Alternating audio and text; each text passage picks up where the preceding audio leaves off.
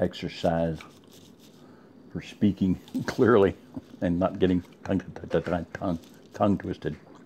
All right. A.T. Hagan's, we interrupt this program.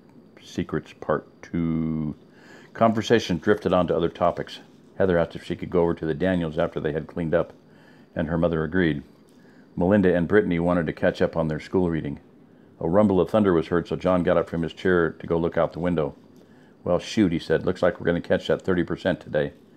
I'm going out and put the tools up before it starts, and I'll finish my lunch before I when I get back inside. Robert got up to help him. They put on their hats and went out the door, the kitchen door. After the door closed, Lisa asked Anne, "Do you think he suspects?" Her co- her co-conspirator grinned, "No, not at all. I still think that's way too much, but since you and Luke insist, I'm not going to say no. You and he might find John is a harder sell. He's always been stiff-necked that way." Mama, we're finished with our school reading, and the rain has stopped. Melinda asked her mother, "Can Brittany and I go over to the Daniels too?" Anne looked out.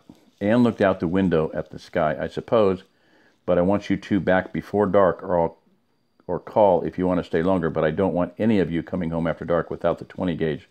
There's still dogs out there. Yes, ma'am. We'll be home before dark. Come on, Brittany. The girls stopped on the porch and put on their boots and ran the 400 yards down the road to the Daniels. They knocked on the kitchen door, and Kate Daniels answered. Hi, girls. Timmy's down at the creek hunting crawdads. Heather and Stevie are in the barn throwing down hay for the animals. Jake's off working with Rick today. Melinda said, Thanks, Mrs. Daniels. We'll go find Heather and Stevie. Timmy always tries to put a crawdad in my hair when he catches them. The two girls ran into the barn through the open door, heading for the ladder to the hayloft. When they reached the bottom, they yelled, Hi, Heather. Hi, Stevie. They could hear movement above, and presently Heather yelled down, Hi, we're up here.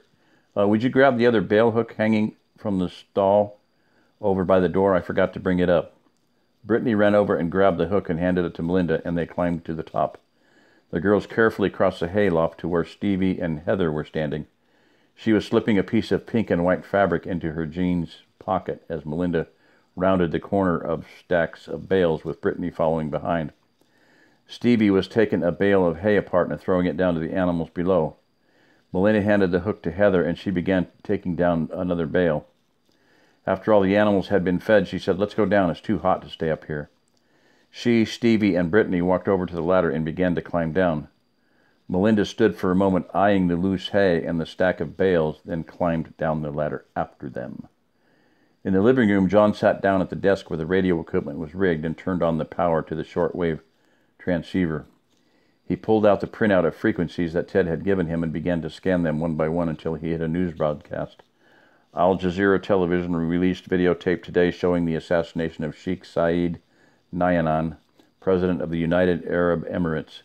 Responsibility for this assassination was placed with fundamentalist groups opposed to the Sheikh's cooperation with the U.S. in its war on terror, but no groups as of yet have specifically been named. All six assassins were killed in the attack and its aftermath.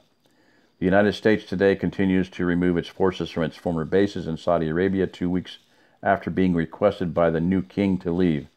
Saudi government officials complained today of the slow pace of the removal, but were rebuffed by U.S. Undersecretary Richard, Stokes, who stated, We are simply not going to abandon our equipment and supplies on those bases, no matter how much the present Saudi government would like us to.